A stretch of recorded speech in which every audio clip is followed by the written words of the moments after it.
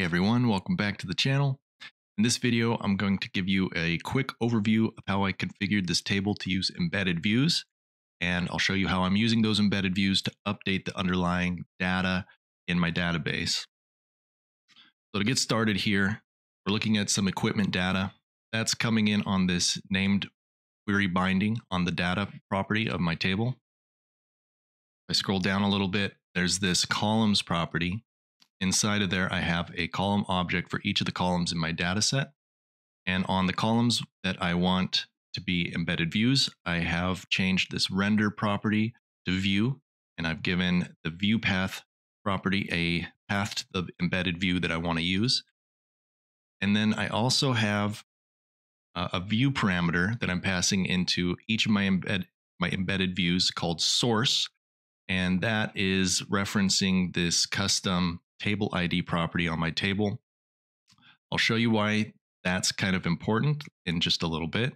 But in a nutshell, I'm associating the embedded views with this table. Okay. I do have slightly different view params on my drop-down components because I also have to pass in a list of those available options for my drop-down. That's what the view params look like when I have a drop-down. And in this way, you can tell each of these drop downs have a different list of options, right? Let's take a look at what the drop down component, that embedded view actually looks like. You can see that source and options, those parameters are there, but also I have some parameters for column, row data, row index, and value. And these are parameters that I didn't set up on the table itself, but they get automatically passed into embedded views and we can confirm that on the ignition documentation. This page called Table Column Configurations has a lot of great information. About halfway through the page, though, you're going to see this section about embedding a view in a table cell. And then at the very bottom, there's this list of those parameters that get automatically passed into your embedded views. Okay, so we're using column, row, no, column, row data, row index, and value from there. On the dropdown component itself, there's a binding on my value property and on my options property, and those just go back to those parameters that are getting passed in for value and for options. Then on the dropdown, I also have an event. This event is using the on action performed event. It's going to run a script, and the script is building this payload. This payload is using the new value the column parameter, row data parameter, source and index parameters, as well as this action key that's set to update. And then it's just sending this message, system perspective, send message. And it's using the column action ID, that's my message handler ID, and it's using the page scope, and it's going to send this payload. Over on my embedded text field, the incoming parameters look almost the same, but there's Obviously, there's no options parameter. On the text field itself, there's actually no on action performed event for this component. So notice there's that binding back to the uh, value parameter, but also there's a change script on this text property, and that's how I'm sending the message. So this part is what's the same between the text field and the dropdown, but because this is a change script, I want to exclude a couple of conditions. And this first one that checks if the origin is binding. That's important because when your table loads, it's going to pass a whole lot of values into all of the instances of your embedded views.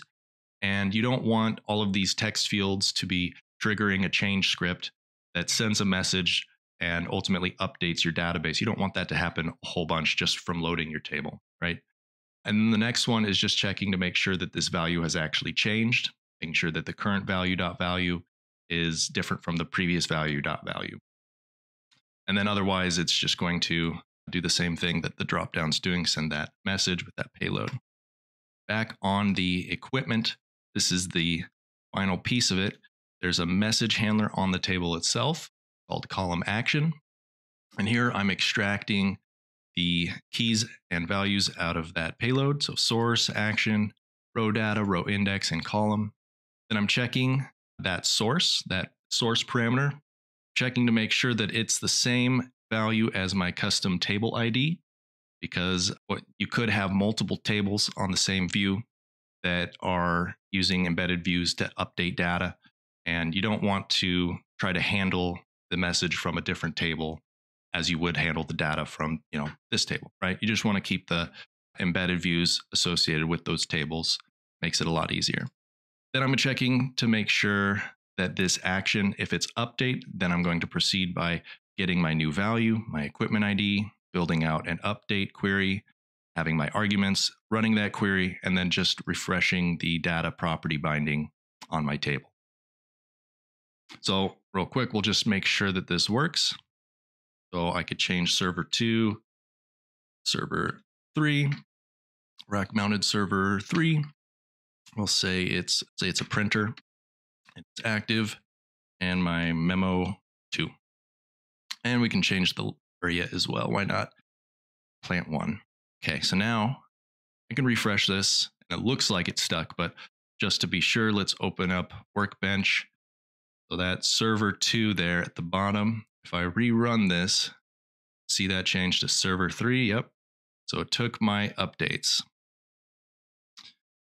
And that's really all there is to it. And you should know that using any kind of embedded view is going to have a similar process to this. You don't even have to be updating data, right? You can just be displaying a graph or a picture or something. The process for setting up that embedded view is still going to be the exact same.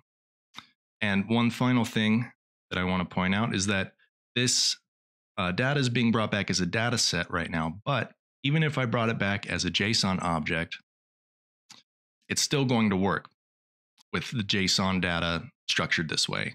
So I could come in here, I could change machine 12 back to machine 1, drilling machine, and we'll just leave that, set it back to pending, rid of the 3 there. If I refresh that, go back into Workbench, there's machine 12 up there. If I refresh this, now it's machine 1. All right, so that's working. I hope that this video was interesting or I hope you found it helpful. And if you have questions, if you have any ideas for future videos, be sure to leave a comment. Go ahead and like this video. And if you'd like to see more like it, subscribe to the channel. And we'll see you in the next one. Bye bye.